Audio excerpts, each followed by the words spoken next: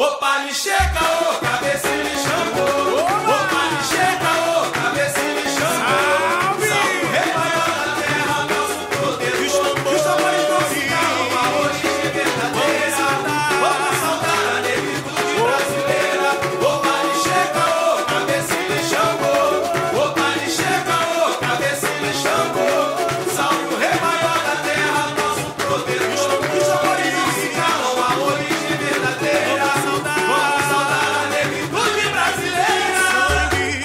Branca é o atual tetracampeão do Carnaval Friburguense do Grupo A. E ao meu lado, uma das figuras mais emblemáticas, a Dona Odete. Dona Odete, o Penta vem esse ano.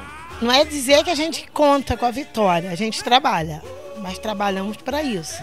Vamos, estamos procurando fazer o melhor, fazer o certo, para poder a gente ter também a vitória, sabendo que ganhamos com a vitória certa. E estamos aí, um barracão cheio, não tom- tem nem espaço para nada.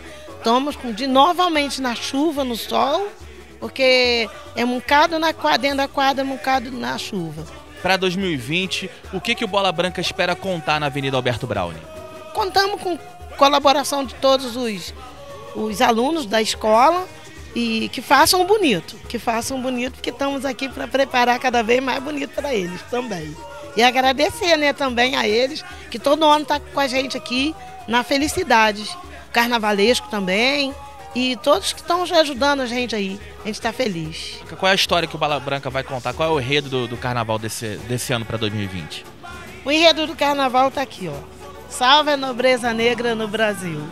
E aí a gente vai embora com a história. Vamos mostrar a beleza, né? Não só a riqueza, mas beleza. Eu lembro que na apuração do ano passado, quando saiu a nota vencedora do carnaval, a senhora ainda esperou alguns instantes para ter a certeza de que o Bola Branca era tetracampeão. O carnaval para 2020 vai ser nessa pegada tensão até o momento do alívio e na confiança do título, claro? Sim, vai ser com, é, com confiança, porque não adianta contar a vitória antes. Valeu, Dona Dete, muito obrigado. Eu sei que o trabalho é árduo e a gente vai conferir só no detalhe também para não revelar nada e deixar o público friburguense descobrir na avenida. Então confira só os detalhes do que o Bola Branca reserva para o Carnaval 2020. O sangue que corre quente dentro de nós.